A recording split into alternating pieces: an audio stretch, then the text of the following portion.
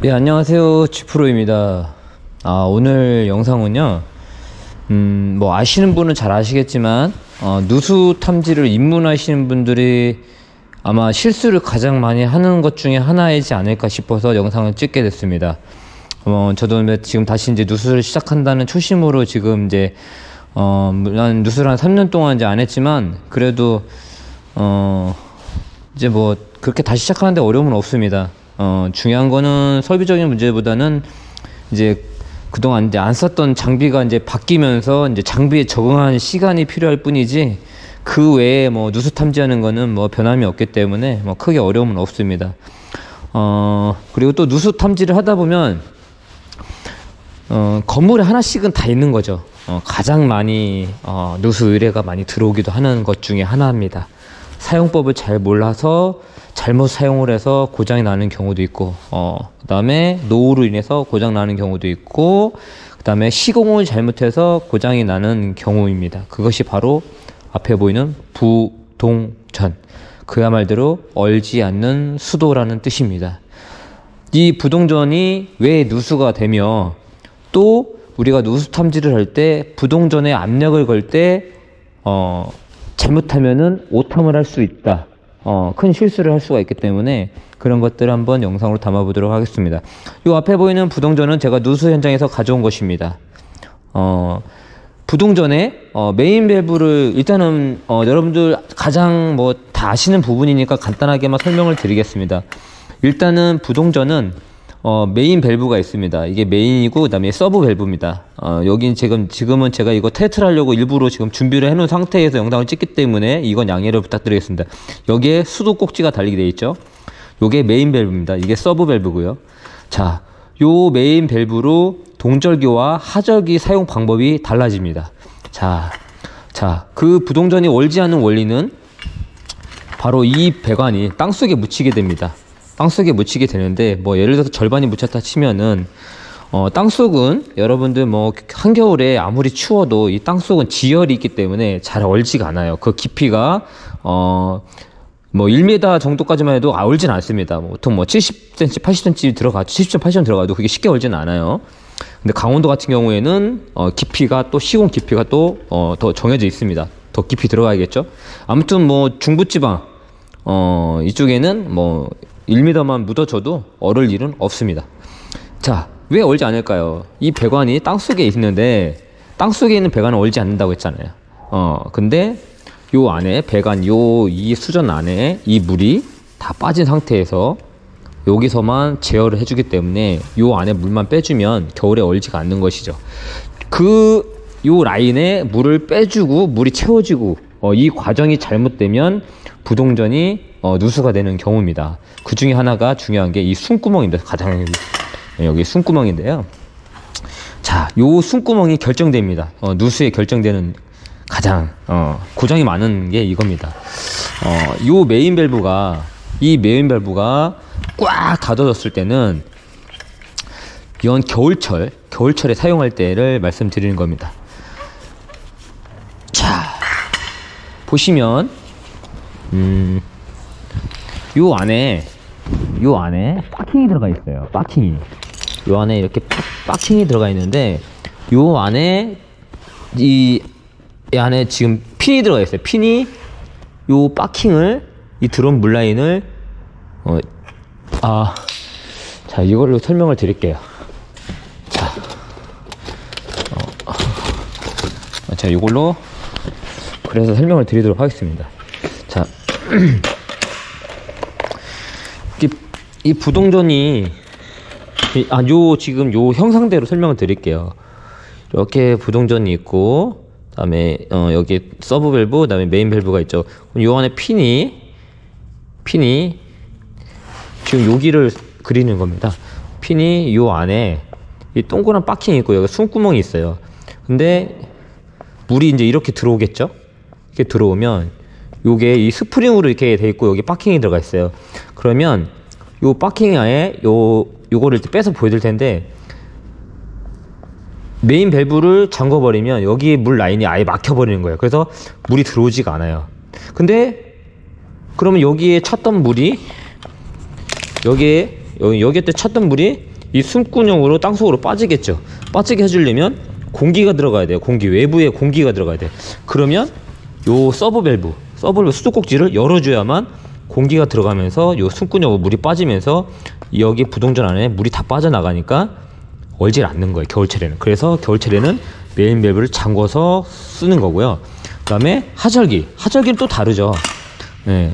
하절기는 얼지가 않으니까 굳이 어, 요 메인 밸브로 어, 요 박킹을 제어할 필요 없이 어, 메인 밸브를 열어주게 되면 요 스프링 장력에 의해서 요 핀이 이렇게 올라옵니다.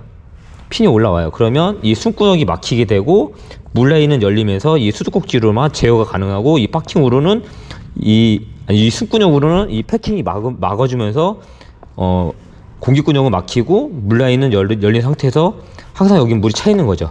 그래서 이 서브 밸브로 수도꼭지 열었다가 닫았다. 어, 이렇게 쓰게 됩니다. 근데 하절기 때도 동절기 방식으로 메인 밸브를 계속 열었다 닫았다 쓰게 되면 요게 노후가 돼요. 아무래도 damage가 가는 거죠. 그래서 하절기 때는 어, 메인 밸브를 열어놓고 서브 밸브로만 사용하는 것이고 동절기 때는 사용 빈도가 많지가 않기 때문에 거의 쓰질 않잖아요. 동절기 때는 거의 쓰질 않기 때문에 한번 잠궈 놓은 상태에서 외부 수도는 필요할 때만 사용하기 때문에 사용 빈도수가 작기 때문에 어, 겨울철에는 메인 밸브로 제어를 하지만 여름철에는 서브 밸브를 제어해서 사용해야만 이 안에 패킹이 패킹이 어, 스프링과 패킹이 노화되지가 않는 거예요. 자, 또 하나. 이렇게 이제 사용으로 인해서 이제 여기가 노화돼서 어, 중요한 건 이 숨구녕으로 숨구녕이 패킹이 잘 막아줘야 되는데 이 숨구녕 이 숨구녕이 누수의 가장 일차적인 원인이에요. 그러니까는 메인 밸브를 열어줬을 때 이 패킹이 이 숨구녕이 막 패킹이 숨구녕 막아줌으로 인해서 숨구녕으로 막아주고 물라인이 열려야 되는데 어 숨구녕도 닫지도 못한 상태에서 물라인이 열려버리면 이 숨구녕으로 계속 물이 새는 거죠. 그러면서 누수가 발생이 되는 거예요. 네. 그리고 또 하나가 또 하나가 뭐냐면 시공을 잘못하면 자 우리 부동전은 우리 부동전은 시공을 할 때 이게 땅입니다. 예, 땅. 이 부동전은 이 땅 속에 주변에 모래와 자갈로 어, 주변을 시공을 해줘야 돼요. 여기 주변에는. 왜 그러냐면, 보다시피, 이게 몇 밀리나 될까요? 이 숨구녕이. 1mm? 1mm 될 것 같아요, 1mm. 그런데, 만약에, 흙, 흙 같은 걸로, 흙으로 여기를, 어, 시공을 해버리면, 자, 짜, 짜잘한 모래라던가, 그러면, 여기에 들어가게 되면, 이 안에서 막혀버리는 거예요. 그래서, 이 패킹이 닫아주고 열어주고 역할을 해줘야 되는데 그걸 못 해주는 거예요. 그래서 주변에 항상 자갈로 될수 있으면 모래보다는 자갈이 좋아요. 잘, 자잘, 콩자갈. 콩자갈이 가장 좋습니다. 모래보다도 가장 좋은 게 콩자갈이에요. 콩자갈로 주변을 땅속을 어, 여기를 시공을 해줘야 돼요. 예, 콩자갈로. 예, 그렇게 그렇게 해야 이 패킹이 막히지가 않습니다. 그리고 또 하나가 반대로 여기서 공기가 들어가서 물이 빠져줘야지만 부동전에 물이 빠지면서 얼지가 않는데 여기를 만약에 시멘트나 콘크리트를 여기다가 시공할 때 만약에 부시는 분을 제가 봤어요 영상에서 누수공사를 다 하고 이 부동전을 어, 이 부동전을 교체를 했어요 그 영상에. 에, 어떤 영상 어떤 분이 영상을 올렸는데 아, 댓글 남기니까 하다가 그러지 않았는데. 그래서 여기다가 콘크리트 다 버버리더라고 여기 주변에다가. 그러면은 반대로 어떻게 되겠어요? 부동전에 물이 물이 이렇게 해서 나와야 되는데 이 숨구멍으로 이 숨구멍 물이 나와줘야 되는데 물이 들어가서 이게 나와줘야 되는데 못 나가서 오히려 부동전의 역할을 못해서 얼어서 터지는 경우가 발생을 한다. 어, 이런 시공도 되게 중요합니다. 일단은 네, 자 그럼 그건 그렇고 이, 이 지금 왜 어, 누수가 어디서 되는지 어, 한번 보여드릴게요. 그리고 그 안에 모양도 보여드릴 거고 그리고 또 하나 어, 누수 탐지할 때 어쩔 수 없이 계량기에서 계량기에서 압력을 못 걸면 외부에 뭐 예를 들어 외부 누수를 하는데 물론 실내에서 반대 에, 걸어도 되지만 어, 만약 부동전에서밖에 걸 수가 없다. 그럴 때는 어떻게 되냐면은 이 부동전에 이 부동전에 이, 아- 이 안에 보면 파이프 긴 핀이 있어요. 그거를 그거를 빼줘야 돼요. 빼주고 압력을 걸어야 된다. 왜 그러냐면 이걸 안 빼고 압력을 걸면 어떤 일이 벌어지냐면 자 그럼 제가 그걸 보- 예를 들어서 보여드릴게요. 반대로 지금 이게 이제 일단은 요게 이게 왜 누수가 되는지를 보여드릴게요. 자 일단은 만약에 이게 정상적인 어, 제가 오랜만에 영상을 찍는데 어, 뉴스에 관련해서 아무튼 이 부동전이 정상적인 부동전이라고 했을 때 요거를 부동전 요거를 다 열, 아 부동전 또 사, 사용하나 또 어, 팁을 팁이 아니라 정, 어, 제대로 사용하는 방법. 이 메인 밸브는 중간에 절대 걸쳐놔서는 안 됩니다. 무조건 다 열든지 무조건 꽉 닫아야 돼요. 다 열든지 다 닫아야 돼요. 근데 중간에다 놓으면 안 돼요. 그러면 물을 사용과 동시에 이 숨구멍으로 물이 나가게 됩니다. 자, 일단 먼저 이걸 다 열었어요, 지금 현재. 그러면 누수가 되지 말아야 될 거 아니에요. 그죠? 근데 한번 압력을 걸어 볼게요. 자, 만약에 이 정상적인 지금 고장나지 않은 부동전이라면 여기서 물이 새면 안 됩니다. 왜? 이건 다 열었으니까 여기가 물이 들어가면서 이 스프링에 의해서 이 숨구멍으로 패킹이 막히게 돼 있어요. 근데 이거는 사용만 하면은 누수가 엄청나게 됐던 어 저기입니다. 부동전이에요. 그래서 어떻게 누수가 되는지를 보여드리도록 하겠습니다. 나는 장갑을 벗고요. 이런 것들은 면장갑을 끼면 오히려 더 미끄러져 작업이 안 돼. 코팅 장갑을 껴줘야 되는데 자 일단은 자 보시면 먼저 압력을 걸게요. 지금 걸자마자 벌써 지금 바람 소리가 나잖아요. 걸자마자. 요거 안에 패킹이 이 숨구멍을 막아줘야 되는데 지금 못 막아 못 막아주고 있는 거예요. 그래서 땅속에서 계속 이 물이 샜던 겁니다. 자, 그럼 반대로 이걸 잠궈 볼게요. 잠궈 볼게요. 꽉 잠궜습니다. 꽉 잠궜어요. 자, 잠궜을 때 셀까요, 안 셀까요? 안 새죠. 예, 압이 안 빠지잖아요. 예. 그러니까 잠궜을 때는 정상적이었어요. 근데 저것만 열면 누수가 되는 부동전이었단 말이에요. 자, 그러면 이 상태에서 이걸 열어볼게요. 빠지죠. 예. 근데 중간에 열면서는 빠질 수 있어요. 근데 이거를 다 열었을 때는 이 숨구멍으로 물이 새면 안 돼요. 그러니까 이거는 어쨌든 고장난 부동전이에요. 이런 식으로 부동전은 누수가 되는 경우가 거의 다 터지던지 아니면 이 안에 패킹이 제대로 역할을 못 해줘서 이 숨구멍으로 누수가 되는 그런 경우입니다. 대개 거의 90% 이상이. 그러면 자 그러면 이 안에 왜, 왜 누수가 되는지 한번.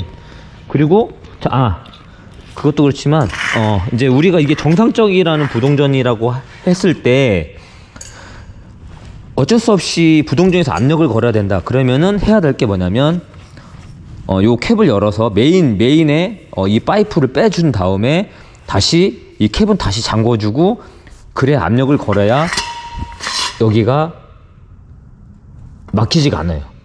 근데 만약에 이 파이프를 빼지 않는 상태에서 압력을 걸어버리면 이 에어가 반대로 이제 우리가 압력을 걸 때는 이 수도에서 여기서 걸 거 아니에요 서브 밸브에서 그러면 공기가 들어가면서 이 안에 그 물그 물라인 패킹 사이에 요 쇠막대가 여기를 물 열어주고 닫아주는 역할을 해주는데 압력을 걸게 되면은 확 닫아버리는 거죠.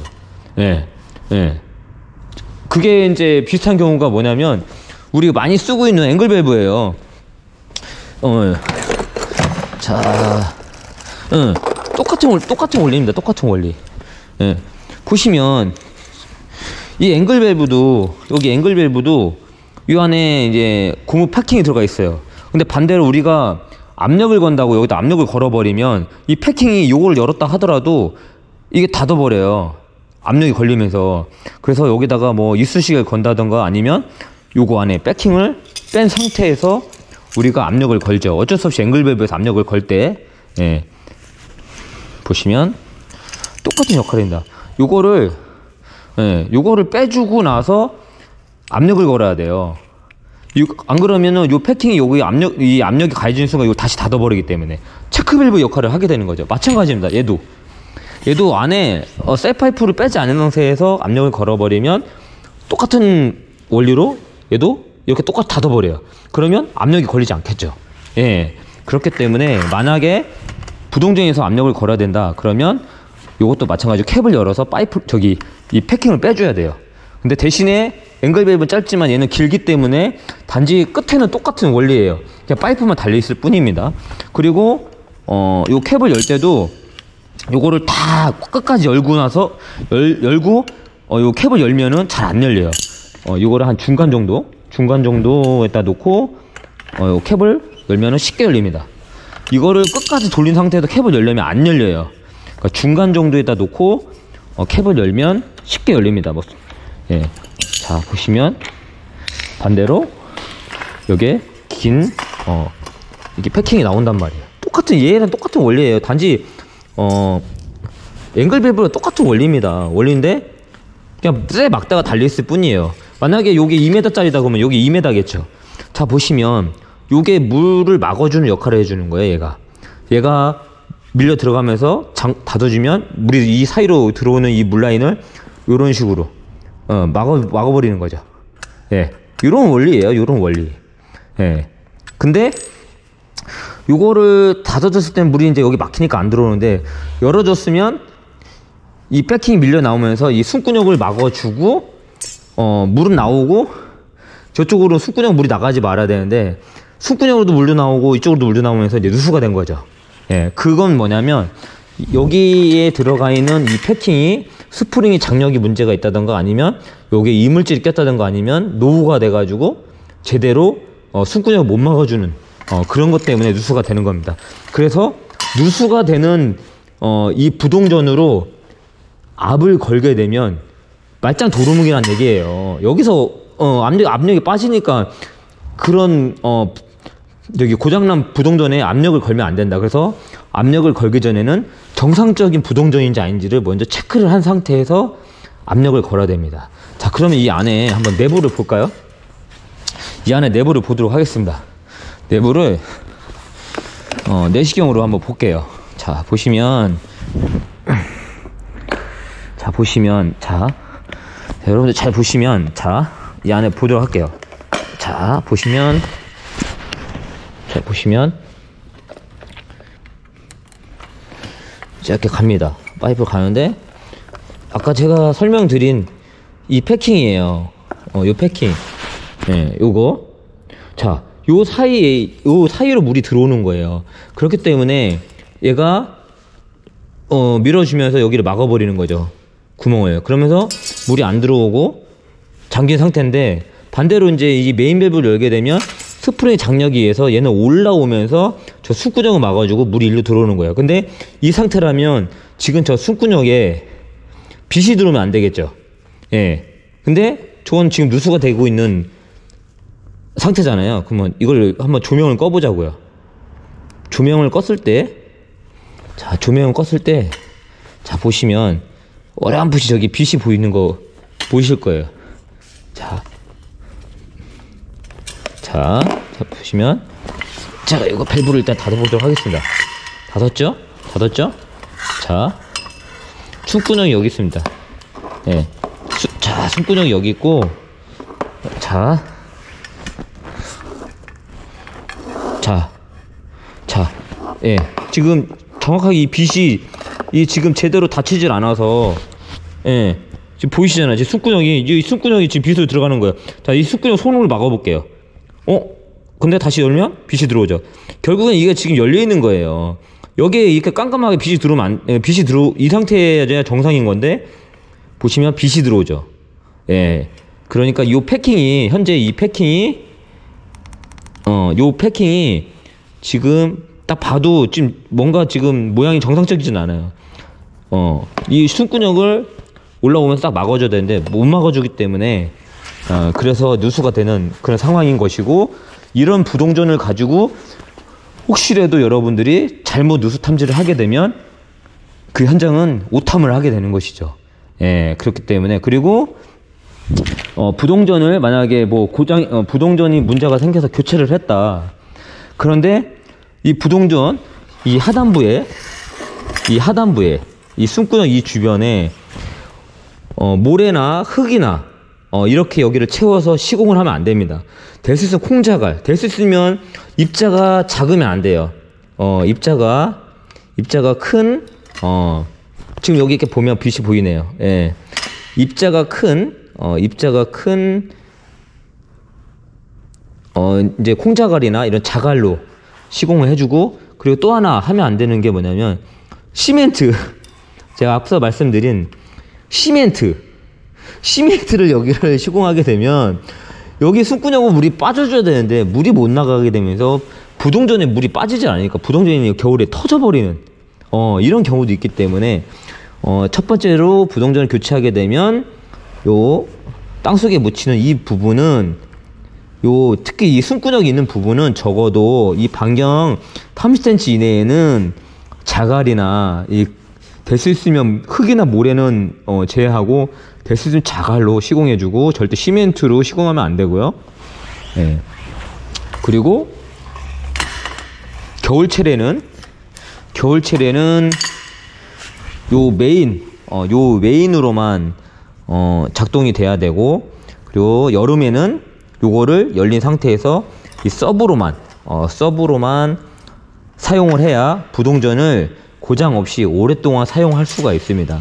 그래서 처음 누수 탐지 하시는 분들이 가장 실수하는 게 어, 부동전의 사용 방법이라던가 부동전의 원리를 잘못 알고 어, 여기 압력을 건다던가 누수 탐지를 하게 되면 어, 엄한 어, 엄한 작업을 하게 된다. 큰 실수를 하게 된다. 이거를 어, 영상으로 짧게나마 담아봤습니다. 감사합니다.